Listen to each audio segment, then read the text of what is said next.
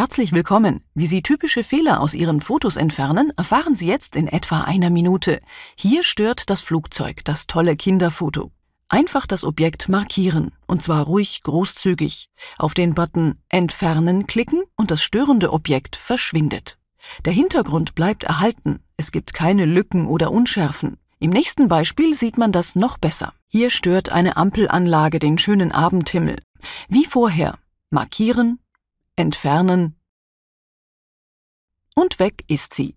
Wichtig dabei, das Programm erkennt die Wolken im Hintergrund und die bleiben wo und wie sie sind.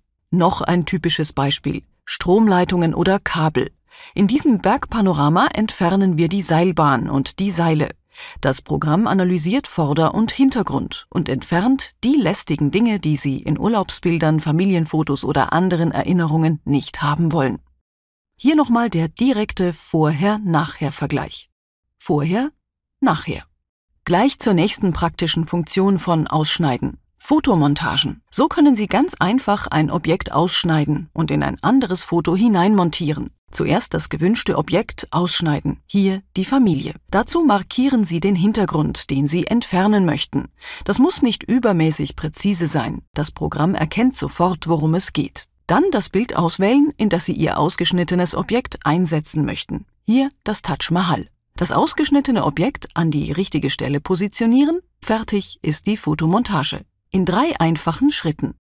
Klicken Sie jetzt auf den Button und entdecken Sie weitere praktische Funktionen.